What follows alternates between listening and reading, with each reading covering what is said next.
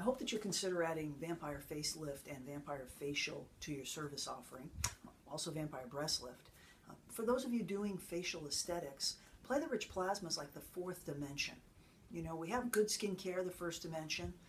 Botox, the second dimension, will relax muscles that cause these um, these rhytids, and then of course the fillers, which create the shape. We all love these procedures. When you add Platelet-Rich Plasma, what you see is a glow. You get a beautiful, youthful glow. You can actually change the texture of the skin. It's a regenerative therapy, and that makes sense to patients. I use Platelet-Rich Plasma with all of the procedures that I do for facial aesthetics, whether it's laser, post laser. Uh, PRP is awesome at improving the outcome, um, decreasing the healing time. So, you know, it, it uh, really complements everything that we do. But with Vampire Face Lift, you're creating the shape with the filler and then you're regenerating collagen, you're improving blood flow, you're changing the texture of the skin.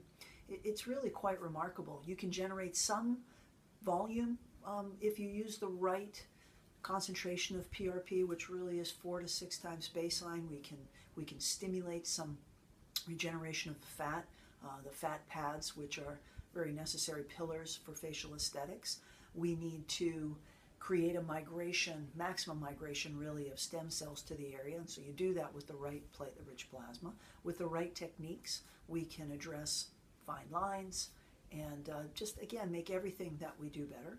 For those of you who are not doing facial aesthetics at this particular time, we can teach you how to apply the filler and the PRP strategically so that you can really make a change in um, the way somebody feels about themselves when they look in the mirror and we can teach you how to apply this quite simply.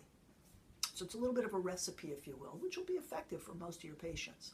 Um, as you get better and better, you will become an aesthetic artist and you'll be able to um, take it from there, if you will. The breast lift is really a great procedure for the right patient. We can create, again, stimulate the adipose tissue to regenerate with the right type of, of platelet concentration and the right amount of platelets.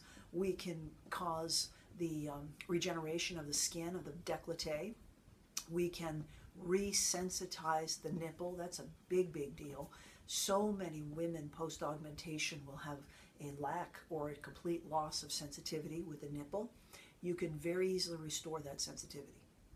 That's a big deal. You can very easily restore that sensitivity and, and you can change a woman's sexual response by, by doing that, changing the way she feels about herself. Um, for women who have gone through reconstructive surgery post breast cancer, for instance, often there's a change in sensitivity, and, and, the breasts sometimes don't even feel like their own.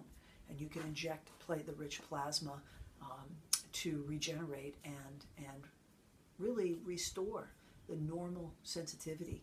And I've had women report that it was an amazing difference to their quality of life. It was something that had always bothered them.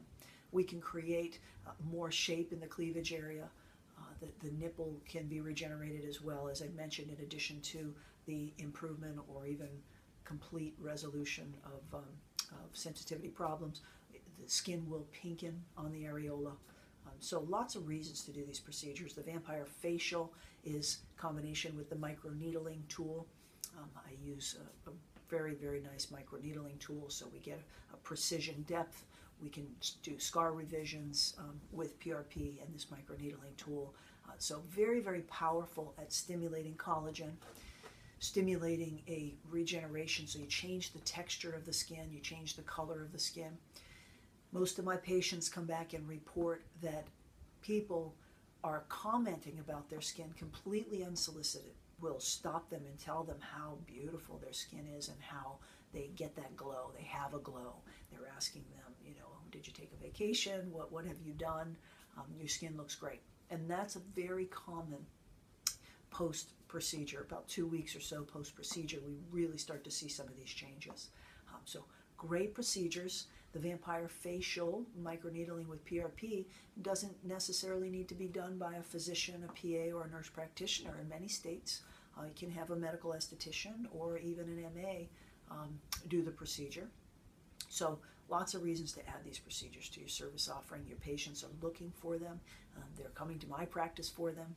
and um, they would much rather be treated by you, who they know and trust.